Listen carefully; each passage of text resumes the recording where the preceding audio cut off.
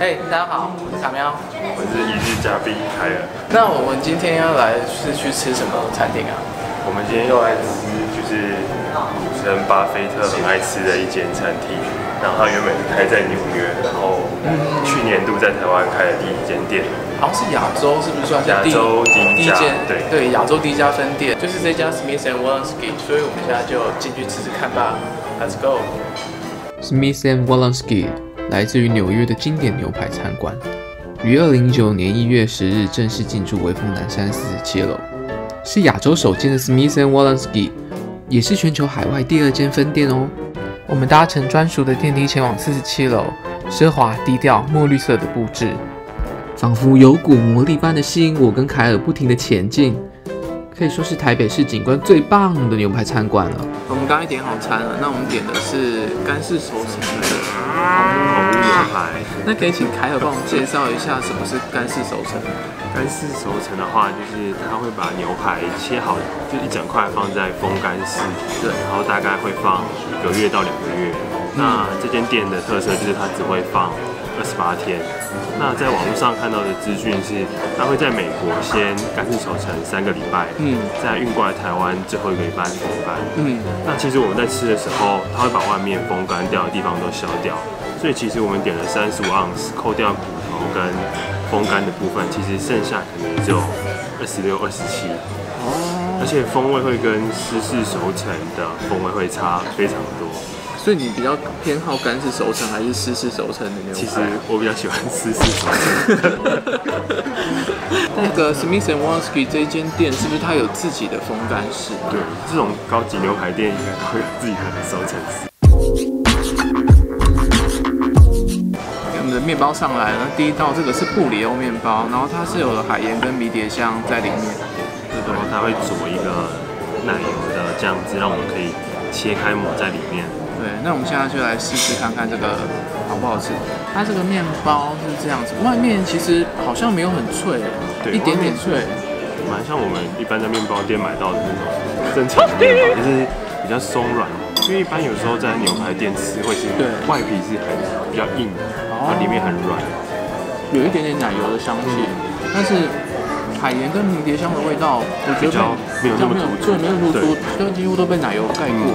那我觉得这面包还蛮松软，嗯但是你要说到很好吃，倒是一般，我觉得。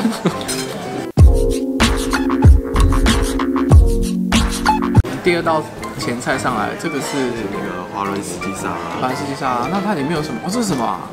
就是它上面最招牌应该就是这个厚切这也太厚了，好像好像看起来很像，很像中午在吃空肉饭而且它煎的感觉是蛮酥脆的，它外表都有一层酥脆酥脆的样子。就像吃那个烧腊脆皮对，烧烧腊脆皮烧腊的那种感觉。对对对对，啊是，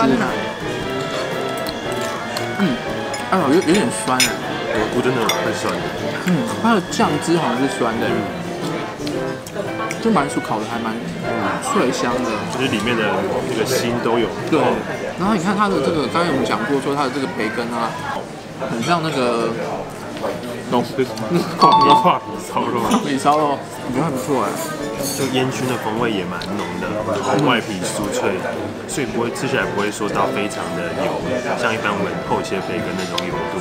因为它稍微带一点咸味，但不会过咸，然后这样搭配这个沙拉清爽的部分，这样综合在一起蛮好。沙拉也有点就是偏酸，然后这样配起来其实蛮算蛮开胃的。就是这个沙拉带有那个培根，它也不会到很腻，就是有点很诱人的感觉。对，然后可是吃下去又很清爽，就是会吸引你想要打开你的胃。就不会像凯撒沙拉会有很哦，没错，浓重的那个酱料或 cheese 的味道，但是这道就是偏对有点偏酸，但是又是清爽类型的。那我就很推荐这个沙拉。那现在我们上的是另一道前菜，对，这道是蟹肉饼，可以看到比较橘色的是干邑红白兰地做去做的一个酱汁，然后会加法式的芥末酱，会比较偏酸一点的口味较偏酸。。然后另外一边绿色的是有带姜味的，然后还有一点菠菜的酱汁。姜味菠菜的美乃滋，对对不对？美乃滋姜味菠菜美乃滋，对。然后中间的话，它是用一块一块蟹肉，很明显看到一丝一丝的去一层一层堆上来。对，然后上面是一些香菜，香菜上感觉偏比较对，比较中式蛮像风中式风味的感觉。这其实看起来有点像那个海底鸡罐头这样整个对。倒上来 对，对啊，蟹肉的风味很明显，很明显很完全就是有人帮你把螃蟹剥好，真的这感觉。很爽真的很爽啊，因为它剥了一大一大坨的蟹，几乎应该有一只螃蟹的分量，而且它外表其实有一点点烤有点有点脆皮有点感稍微煎过的那种感觉，对对对不会说是完全是软的，那你吃下去的时候，它那个蟹肉的那个香气其实会跑出来，那个鲜味都在嘴巴里面。来沾着一下那个干邑芥末酱看看。我们来试一下姜味，嗯，哦，这个有酸酸，然后有带一点点酒味，的确是有那个干邑的酒味。然后那个姜汁的味道其实会跟海鲜有一点，我觉得蛮相符合。就像我们一般吃海鲜可能会配姜去那个比较过多的海味，海味，对对对，其实配起来是蛮清爽的。我觉得这个酱真的是搭配的非常好，而且它的蟹肉是一种不干柴，然后里面是软嫩，又有一带一点湿度的感觉，对，所以我觉得很棒哎，这道。因为一般我们比较没钱，都只能吃到蟹肉棒，那感觉就不太一样。是蟹味吧？对，蟹味 还是蟹。那严格说起来，它比较不像是一个饼啊它的英文是，crepe 什么 cake，crepe cake，它那个中文翻译可能有一点不是翻译的那么好。对，它并没有一个饼皮当基底的那种。这个是那个刀子，然后它这个刀子是 Smith and Wollensky 跟双人跟双人牌联名的，所以上面还有它的这个它的名字，然后跟一个双人拍的对一个 logo。然后这个刀其实蛮顺手的，然后同事说这个刀放在办公室，应该下面的同事什么东西都交出来。什么报告都交得出来，对啊，什么电视的报告都交得出来。那些有什么哎，那你知道为什么它叫 Smith and Wollensky 吗？就是经过我看那个 Wikipedia，其实它是它并不是两个创办人的名字，它其实是有就是在翻那个我们以前小时候会有电话簿黄页本，他就直接随便翻两个人名就把它组起来。就叫 Smith and 而 Wollensky 且。是 Lawrence 因为不是美国的姓氏，所以组起来也是蛮特蛮别的。蛮特别的，对，所以搞不好会不会 Deloitte and Touch 是。哦也是翻底稿，对，翻底稿，翻底稿看到看到你，他们可能看到那个随便两个人签名，就直接组成我们公司的名。对。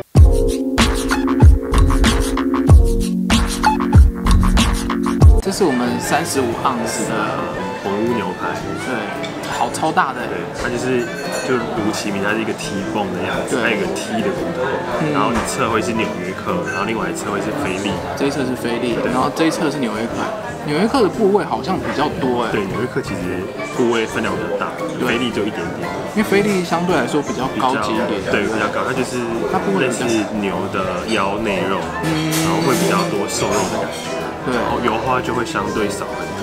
对。另外，我们还有再点一个海胆酱汁，它就是特调的海胆酱汁，然后再加上新鲜的海胆，然后会还有跑一点柳橙的丝，有时候会这样让那个海鲜的风味会更清爽。然后等一下我们就可以来试一下，是不是跟菲力牛排或跟纽约客比较搭配？嗯，有柳橙的香气哎，这个反正刀很利。哇，这个超大一块，超大一块菲力。点丁骨的话，菲力应该不会那么大对，块，菲力应该会更小。其实这还算是蛮深的，对啊，其实蛮像三分熟的，对，蛮真的是三分熟。对，我觉得对蛮三分熟的。那到底会不会咬不烂？咬不咬得会不会咬不烂？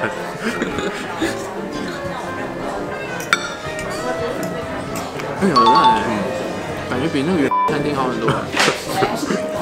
这种话能讲吗？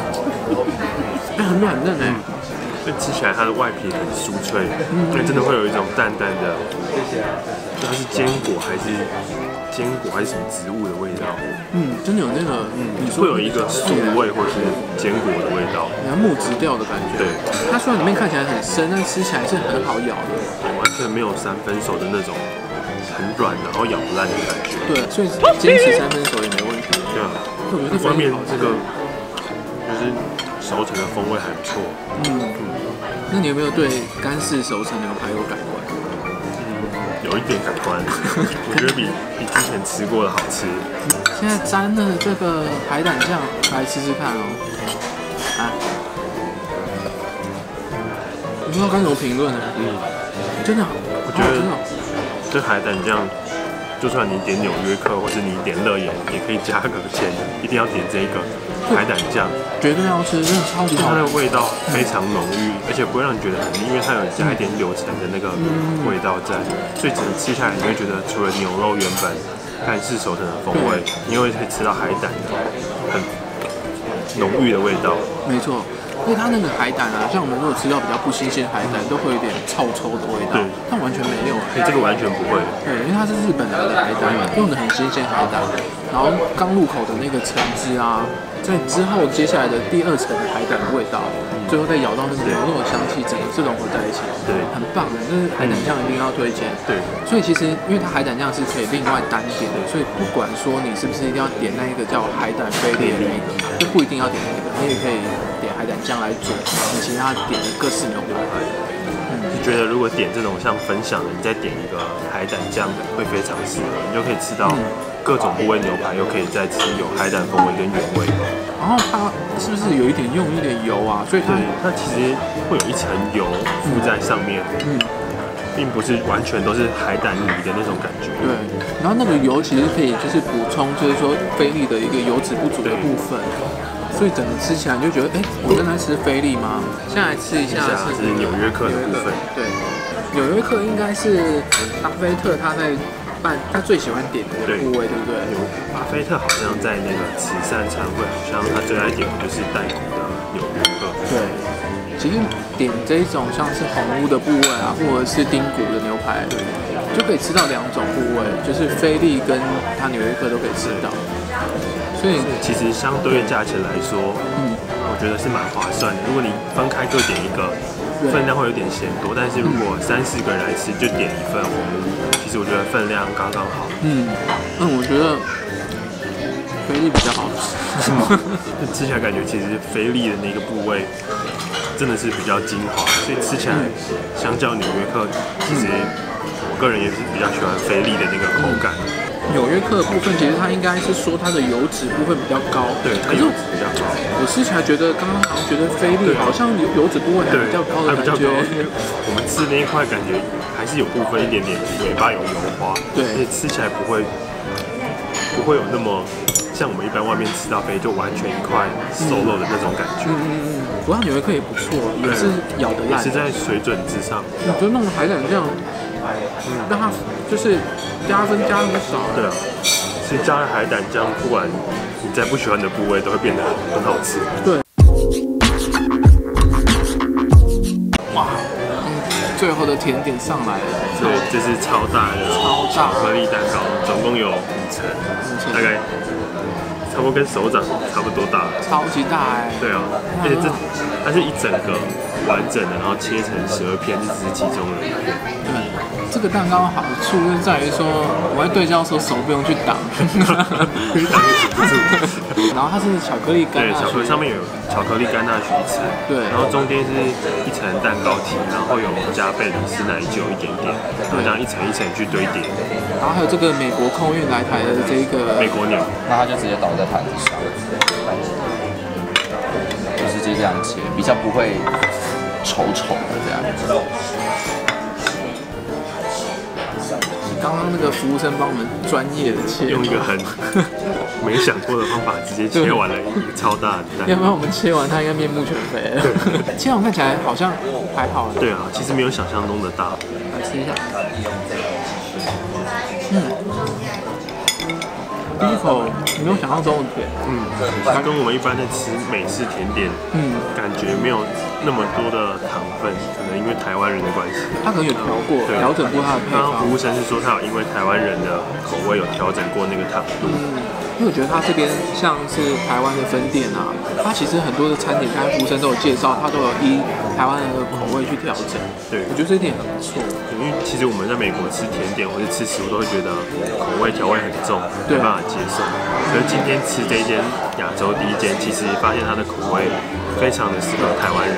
啊，吃饱了，好饱了。对吧？这一次其实点的没有非常多的菜色，可是对其实吃下来的那个饱足感，那个腰内肉有成长，已经可以把它自己切是一个丁对一个一个丁口都可以立出来。对，对啊，所以真的是，我觉得这次用餐的体验还蛮不错的。